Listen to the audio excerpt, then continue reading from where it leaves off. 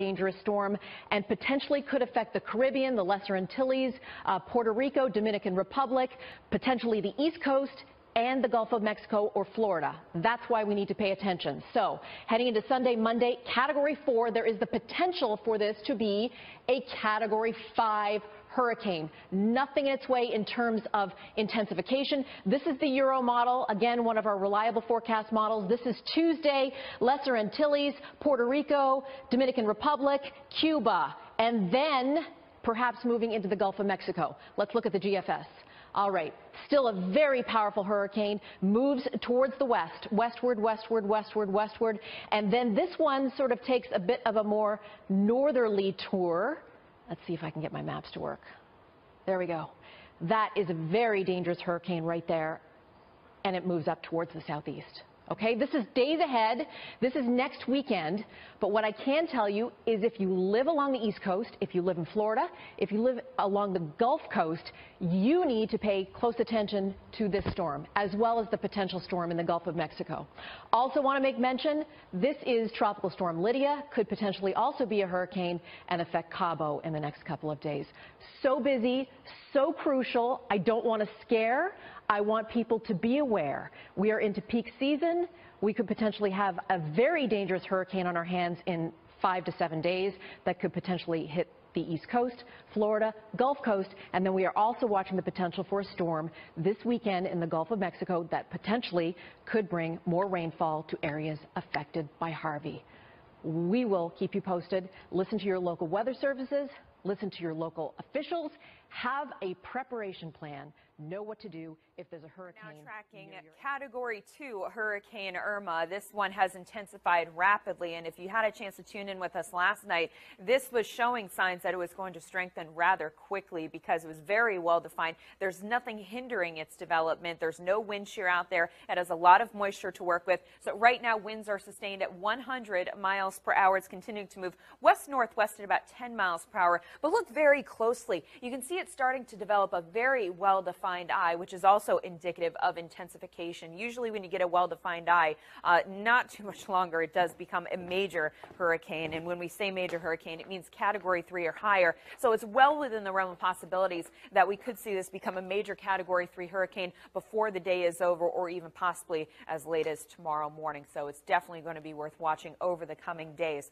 Uh, here's the latest track on this for you. As you can see, here we are Friday morning, category three hurricane forecasted about 120 miles per hour. But as I said, it could easily become a category three even before that. Then it continues on through Saturday morning. Again, remains a major category three hurricane. And then we take it out to about Tuesday. And by then, it could become a category four hurricane with winds sustained at 130 miles per hour. But even by then, it's possible it may be a category 5 hurricane. That's a little bit of a wait and see situation, but again, there's nothing hindering it from intensifying that rapidly.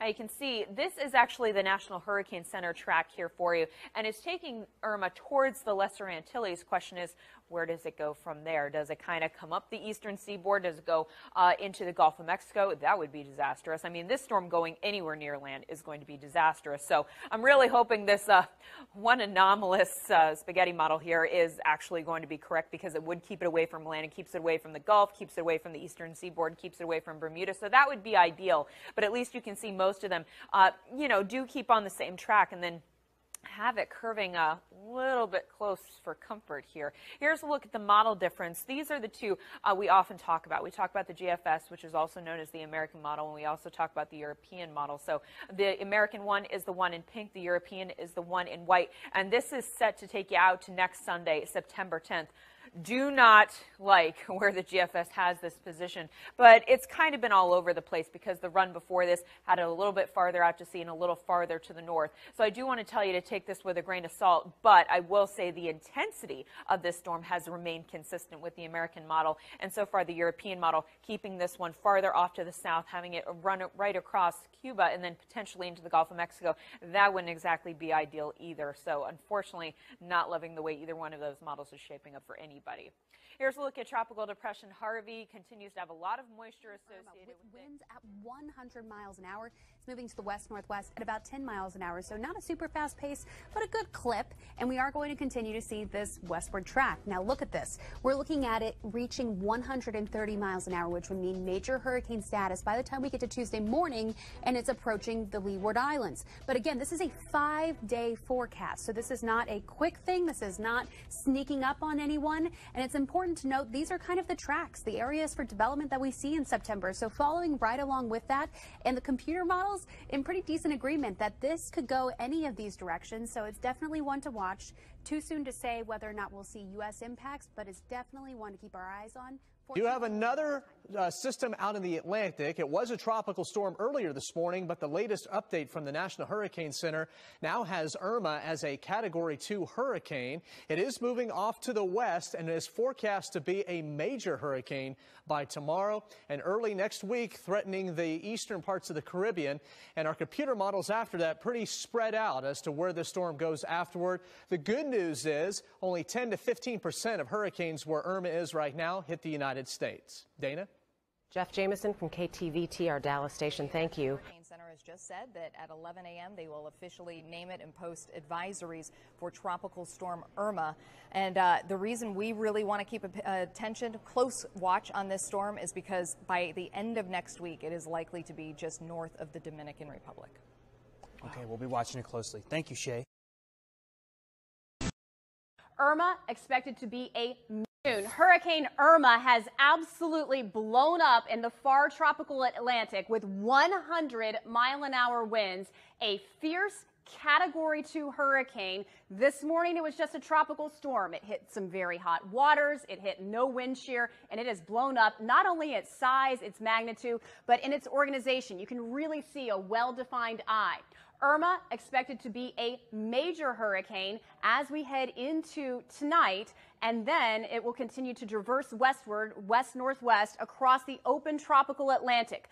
By Sunday, a category three, maintaining that status, 130 mile an hour winds as we get into early Tuesday and knocking on the doorstep of the Caribbean with the Lesser Antilles. Where it goes after that, the models are split. One wants to take it out to sea, the other takes it more toward the eastern seaboard, possibly even Florida. What we can tell you, there's a great consensus that this is going to be a huge and very strong, extremely dangerous hurricane, a category four as we get into early Tuesday morning.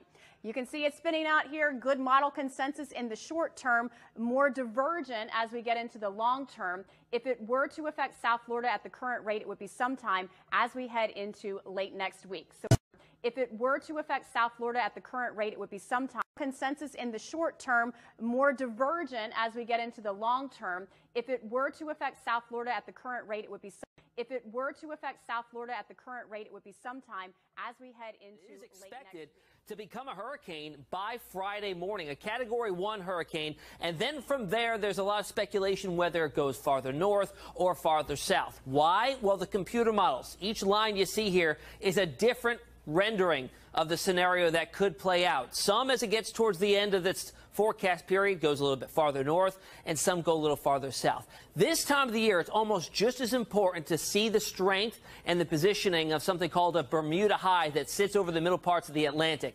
If it was to be rather weak, that'll usually drive these systems to move west and then do that little loop out to sea, and we call it a fish storm at that point. If it's just a little bit stronger and positioned a little bit farther towards the west, it'll actually push it right towards the eastern seaboard. If it's really, really strong, then it'll push it even farther to the west and way south of our region and into the Gulf uh, is where our attention really turns next. This is a very healthy, very strong tropical storm, and it's still strengthening. Right now, wind speeds at 70 miles per hour, so four more miles per hour, and it's a hurricane. In fact, it's forecast to become a major hurricane, a Category 3 over the weekend. The track takes it through, uh, through the open Atlantic through uh, the start of next week. But it's the long range forecast that we still have a few kinks to work out. Some models are saying one thing, another model saying the other thing.